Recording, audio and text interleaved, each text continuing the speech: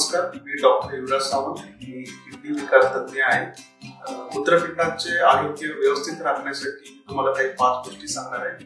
भरपूर पाणी प्या. ऍटलिस्ट तीन लिटर पाणी एका दिवसामध्ये पिणे गरजेचं आहे. आहारामध्ये फळांचा वापर जास्त करा. मिठाचं प्रमाण कमी करा. नियमित व्यायाम करा. आणि ज्या लोकांना डायबिटीस किंवा हायपरटेन्शन आहे अशा लोकांनी मूत्रपिंडाविषयीच्या ज्या आवश्यक त्या लवकर